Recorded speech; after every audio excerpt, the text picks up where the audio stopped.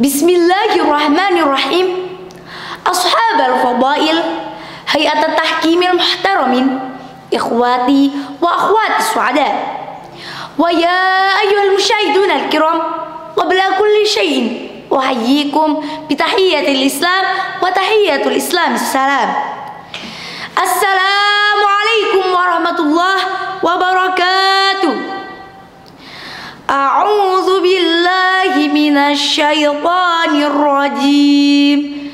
بسم الله الرحمن الرحيم.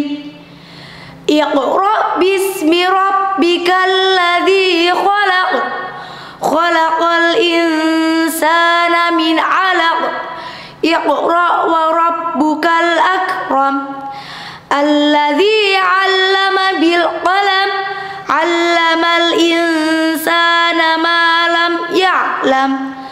صدق الله العظيم.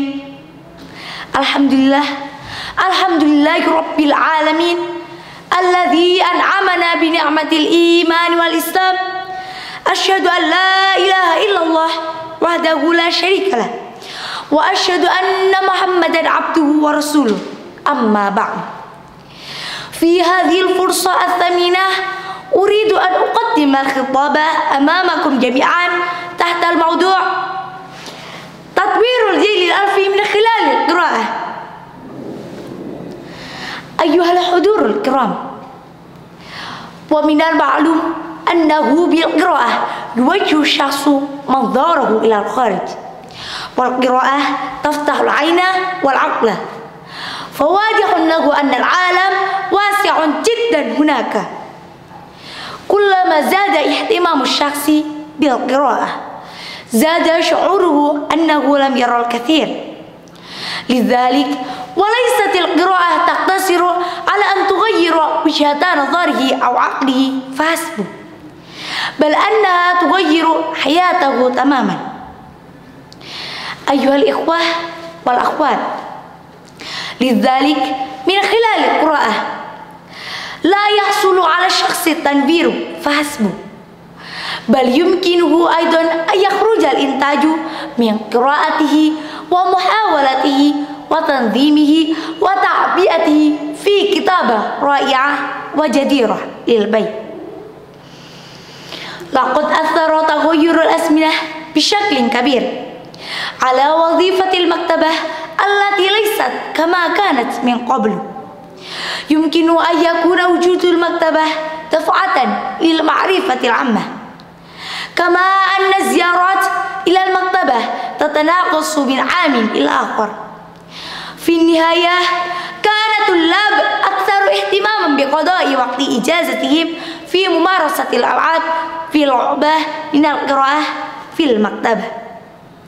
وذلك مع تطور التكنولوجي التي تولي اهتماما سريعا. بشكل متزايد لجيل الألفية أيها الإخوان السعداء من خلال قراءة الكتاب لها فوائد.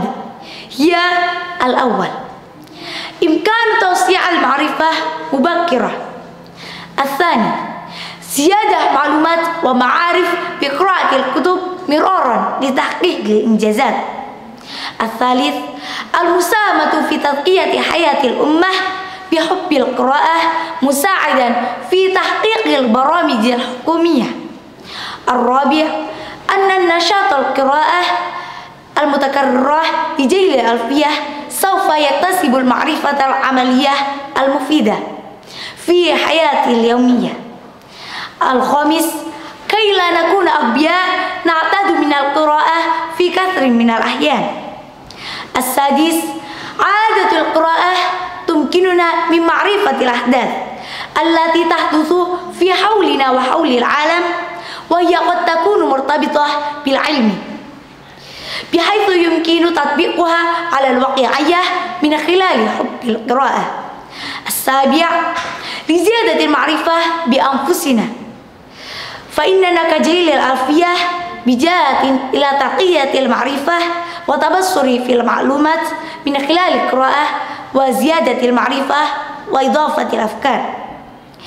أيها الإخوة والأخوات لهذا يجب أن يتمتع المجتمع بالوعي الذاتي لقراءة الكتب مبكرة لأنه يمكنهم الحصول على فوائد كبيرة لأنفسهم أيها الإخوان السعداء هذه هي الخطابة التي استطعت أن ألقيها أمامكم جميعا أطلب منكم العفو إن وجدتم مني الخطاءات أخيرا أدعوكم أن تعدوا أنفسكم حتى تستطيعوا أن تكونوا أولادا وشبابا مرجوين الذين يعمهون وعن الفاعلين وعن المعاصي التاركين اهدنا الصراط المستقيم والسلام عليكم ورحمة الله